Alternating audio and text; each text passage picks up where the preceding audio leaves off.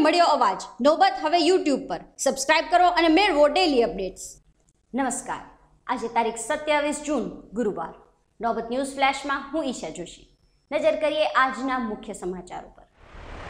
ગુજરાતમાં ચોમાસું બેસી ગયું છે. વાવાઝોડાને કારણે થયેલા કમોસમી વરસાદ પછી ઋતુ અનુસાર વરસાદ પડ્યો છે. રાજ્યના અઠ્યાવીસ જિલ્લામાં એકથી પાંચ ઇંચ જેટલો નોંધપાત્ર વરસાદ નોંધાયો છે. ગોંડલના સખપર ગામે વાદળું ફાટ્યું હતું. વાદળું ફાટવાથી દોઢ કલાકમાં અનરાધાર સાત ઇંચ વરસાદ પડ્યો હતો. ઉપરાંત બગસરામાં ત્રણ ઇંચ, ઉના તથા પાલીતાણામાં અઢી ઇંચ વરસાદ થયો હતો. જામનગરના લાલપુર તથા કાલાવડમાં એક એક ઇંચ વરસાદ પડ્યો હતો.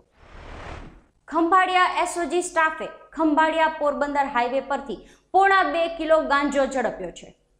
પોલીસે પેટ્રોલિંગ દરમિયાન તાલબ ઇસ્માઇલ થૈયમને ઝડપી લીધો હતો. આરોપી રિક્ષામાં એક કિલો આઠસો એકસઠ ગ્રામ ગાંજો લઈ જઈ રહ્યો હતો. પોલીસે આરોપી પાસેથી રૂપિયા અઢાર હજાર છસો દસનો ગાંજો, વીસ હજારની રિક્ષા તથા મોબાઈલ સહિતનો મુદ્દામાલ કબજે કર્યો છે. આરોપીએ ગાંજાના સપ્લાયર તરીકે જામનગરના વિજય રામજીભાઈ ચાંગાણીનું નામ આપ્યું છે. ખંભાળિયા પોલીસે આ કેસમાં કાર્યવાહી કરી છે.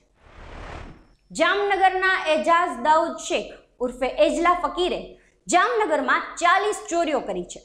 જામનગર એલસીબીએ તેને ઝડપ્યો હતો. ત્યાર પછી આરોપી જામીન પર મુક્ત થયો હતો. આ દરમિયાન અમદાવાદ પોલીસે સ્થાનિક ગુના હેઠળ આરોપીની ધરપકડ કરી હતી. આરોપી કાલુપુર પોલીસ લોકઅપમાંથી ચાલાકીપૂર્વક ફરાર થઈ ગયો છે. અમદાવાદ પોલીસે આરોપીને પકડવા જામનગર પોલીસની મદદ માંગી છે. જામનગર એલસીબીએ ફરાર આરોપીની શોધખોળ આરંભી છે. યાત્રાધામ દ્વારકાનું જગત મંદિર વિશ્વ પ્રસિદ્ધ છે. મંદિર આસપાસ દબાણની વ્યાપક ફરિયાદો ઉઠી હતી. આખરે તંત્ર આ મુદ્દે એક્શન મોડમાં આવ્યું છે. તંત્રએ જોધા માણેક ચોકથી મંદિર સુધીના માર્ગ પરથી લારી, ગલ્લા તથા પથારાવાળા વગેરેને હટાવ્યા હતા. આ હતા આજના મુખ્ય સમાચારો. ફરી મળીશું. જય હિન્દ, જય હાલાર.